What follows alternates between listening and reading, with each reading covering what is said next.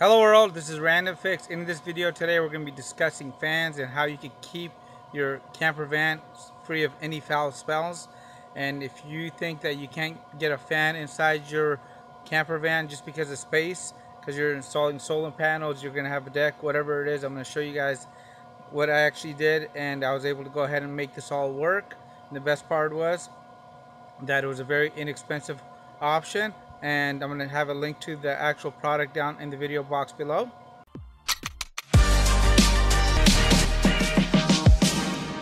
And welcome to the channel guys.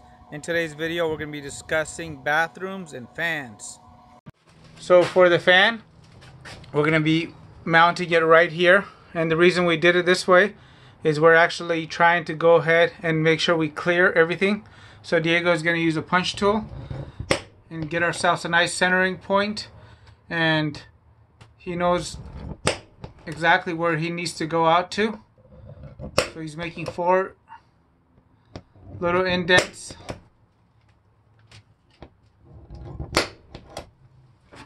That way when he's up top he can redraw the circle and get this cut out.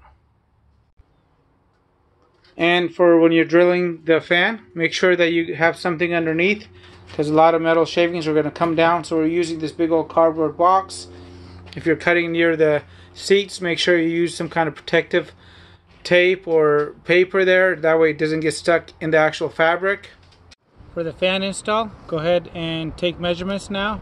Trace everything out using those four indentations you made. Or you can just do a center hole and work your way around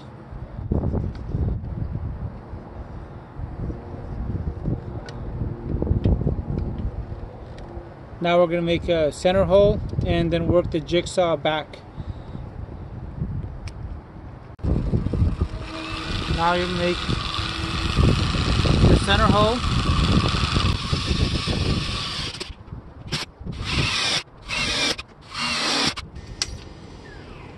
Cool, so we got a bunch of holes that basically complete a circle and we're going to use a compressed air. So we can see what we're doing and we're gonna go ahead and just cut that out. So we got a jigsaw there fully charged battery and a fine metal blade and we're just gonna take our time and just work it around on the outer parts of those holes that we made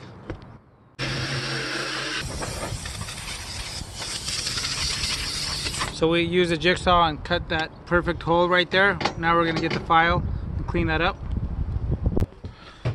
So it's kind of hard to actually make a perfect circular hole from the top, especially when you got the ridges here. So what you want to do is go ahead and file the rest of this down. Or if it's excessive, go ahead and just drill a little tiny bit out. And that way the fan will just drop through there.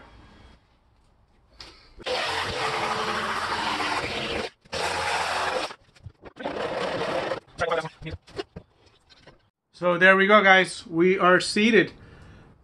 Not bad, not bad. Got butyl tape on the bottom of the fan, and the fan is about to make its eternal home in the Sprinter here. So butyl tape is done on ground level to make it easier.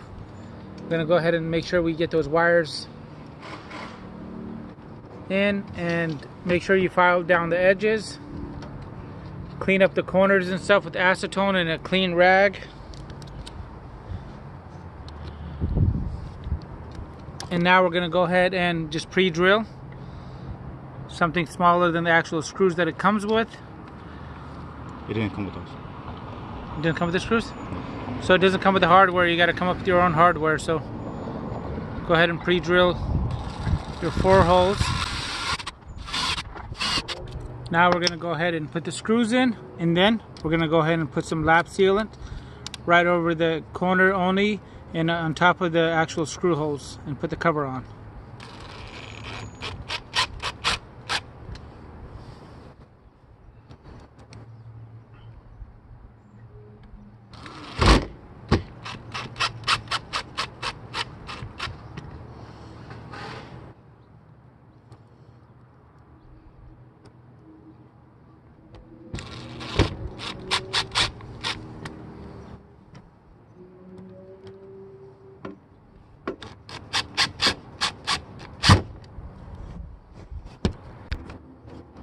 Go ahead and make your final adjustments using a hand tool.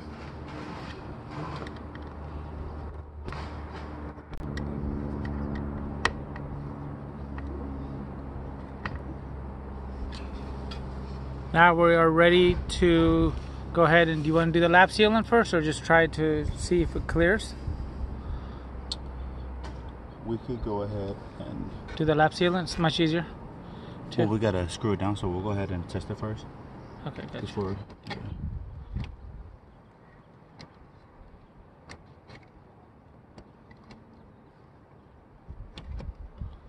I think it should be good.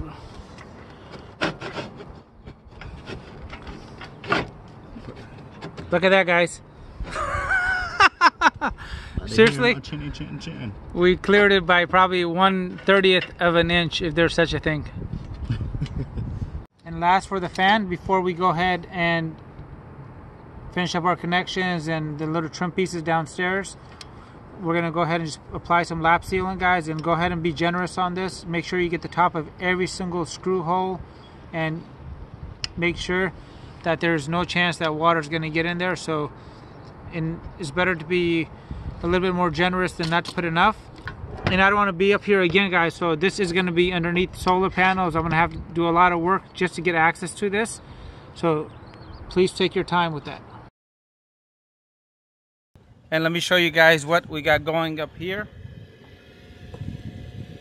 So the fan is actually right back here.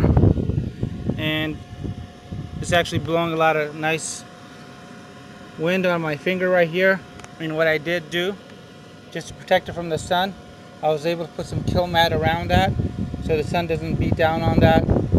And so far no leaks. It works great.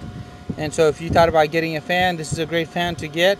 And again you can make this work underneath your roof system here. So so I have the flat van company roof system and this is able to work right underneath here so I have my fan on a dimmer switch as well as the lights. So this is the fan here guys. It's installed here in the Sprinter and this is the upgraded model. Do not go and try to save yourself a few bucks by getting the weaker fan. So you definitely want something that's going to have some pulling power and this definitely does a good job of keeping the van free of all foul odors. And once I got the fan installed, all I had to do was go ahead and cut this insert shaft to length. I used a multi-tool just like this and cut around here, so that was pretty easy. I tried it using a saw. That was a big fail, but this definitely did the trick. And I did not connect the wires on the actual fan with the little three-way switch because, again, as I showed you guys earlier, I went ahead and just went and installed a dimmer switch. So this makes it a lot easier because it is a little bit of a noisier fan. So keep that in mind. So hey guys thanks for checking out the video. I hope the video was helpful and showed you that you can install a fan in the bathroom and B you could have solar on top of it.